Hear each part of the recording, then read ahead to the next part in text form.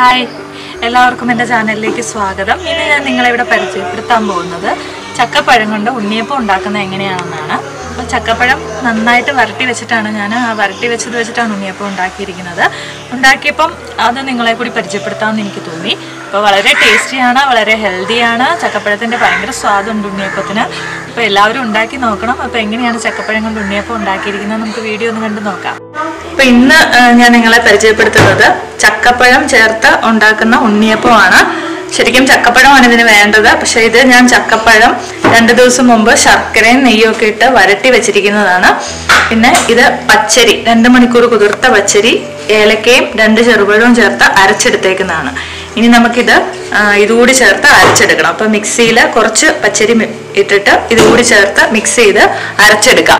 അപ്പം ചക്ക വറുത്തി വെച്ചത് കുറച്ച് പച്ചരിയുടെ മിക്സ് കൂടി ചേർത്തിട്ടാണ് ഞാൻ മിക്സിയിൽ അരച്ചത്. എന്താന്ന് വെച്ചാൽ വരട്ടി വെച്ചിരിക്കുന്നത് കാരണം അത് പച്ചരിയും കൂടി ചേർത്ത് അരയ്ക്കുമ്പോൾ ഒന്നുകൂടി നല്ല മയത്തിൽ അരഞ്ഞു വരും. ഇനി ഇതുകൂടി നമുക്ക് ഇതിനകത്തേക്ക് ചേർത്ത് മിക്സ് ചെയ്ത് വെക്കാം.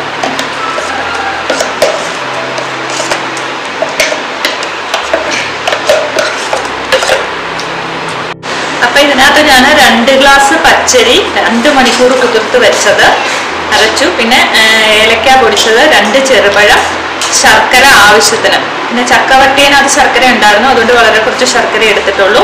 ഇതിനകത്ത് ഏറ്റവും നല്ലത് ചക്കപ്പഴം.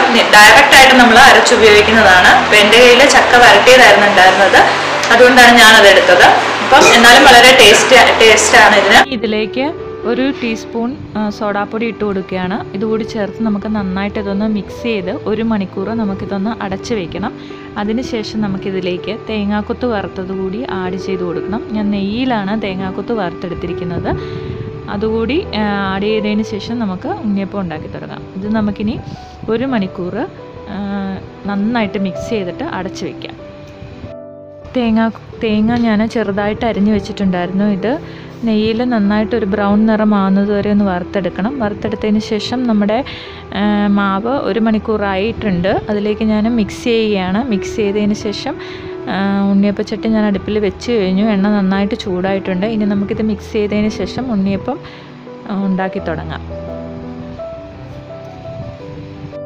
അപ്പം ഇവിടെ എണ്ണ നന്നായിട്ട് ചൂടായിട്ടുണ്ട്. ഇനി മാവ് നമുക്ക് ഒഴിച്ചു കൊടുക്കാം. മാവ് ഒഴിച്ചു കൊടുത്ത് ഒരു സൈഡ് നന്നായിട്ട് ബ്രൗൺ ആയി കഴിയുമ്പോഴത്തേക്കും തിരിച്ചിടാം. ഇനി ഇതിൽ എളുപ്പത്തിൽ ഉണ്ടാക്കാൻ പറ്റുന്നില്ലെന്ന് തോന്നുവാണെങ്കിൽ നമുക്ക് നന്നായിട്ട് അതിന്റെ ഷേപ്പൊക്കെ ആയി കഴിയുമ്പോഴത്തേക്കും നമുക്ക് ചീനിച്ചട്ടിയിൽ വേറെ എണ്ണ ഒഴിച്ചിട്ട് അതിലേക്ക് ഇട്ട് കൊടുക്കാം. അതിലേക്ക് ഇട്ട് കൊടുത്തിട്ട് വേണമെങ്കിൽ നമുക്ക് തിരിച്ച് മറിച്ച് വിട്ട് ബ്രൗണിഷ് നിറമാകുന്നത് വരെ ആക്കിയെടുക്കാം. ഇനി ഉണ്ണിയപ്പച്ചട്ടിയിൽ തന്നെ തിരിച്ച് മറിച്ച് വിട്ടിട്ട് വേണമെങ്കിൽ അങ്ങനെ വേണമെങ്കിലും ചെയ്തെടുക്കാം. അപ്പം നിങ്ങൾക്ക് എങ്ങനെയാണോ എളുപ്പമെന്ന് തോന്നുന്നത് അതുപോലെ ഉണ്ടാക്കിയെടുക്കുക. ഇത്രയേ ഉള്ളൂ നമ്മുടെ ഉണ്ണിയപ്പം. നമ്മൾ ഒരു മണിക്കൂർ മാവ് അരച്ച് വെക്കണമെന്നേ ഉള്ളൂ. അതിന്റെ കൂട്ടൊക്കെ പാകമായി കഴിഞ്ഞ് കഴിഞ്ഞാൽ ഉണ്ണിയപ്പം കറക്റ്റായിട്ട് നമുക്ക് കിട്ടും. വളരെ ടേസ്റ്റി ആയിട്ടുണ്ട് ഉണ്ണിയപ്പം. എല്ലാവരും ട്രൈ ചെയ്ത് നോക്കണം. അപ്പം നമ്മുടെ ചക്കപ്പഴം കൊണ്ടുള്ള ഉണ്ണിയപ്പം ഇവിടെ റെഡി ആയിട്ടുണ്ട്. വളരെ സോഫ്റ്റ് ആണ്. തൊടുമ്പോൾ തന്നെ നമുക്കറിയാം. ഇപ്പം എല്ലാവരും ഉണ്ടാക്കി നോക്കണം. ചക്കപ്പഴത്തിന്റെ സീസണൊക്കെ ആയതുകൊണ്ട് എല്ലാവരുടെയും വീട്ടിൽ ചക്കപ്പഴമൊക്കെ ഉണ്ടാവും. എല്ലാവരും ട്രൈ ചെയ്ത് നോക്കുക. ചക്കപ്പഴം അരിയുടെ കൂടെ നന്നായിട്ട് അരച്ചാൽ മതി. ഇനി അല്ലെങ്കിൽ ചക്ക വരട്ടി വെച്ചിട്ട് എപ്പോൾ വേണമെങ്കിലും നിങ്ങൾക്ക് ഇതുപോലെ ഉണ്ടാക്കിയെടുക്കാം. വളരെ ടേസ്റ്റി ആയിട്ടുണ്ട് വളരെ സോഫ്റ്റ് ആണ്. അപ്പം എല്ലാവർക്കും ഇഷ്ടപ്പെടുമെന്ന് വിചാരിക്കുന്നു. അപ്പോൾ പുതിയൊരു വീഡിയോയുമായി വരുന്നത് വരെ സി യു ബൈ ബൈ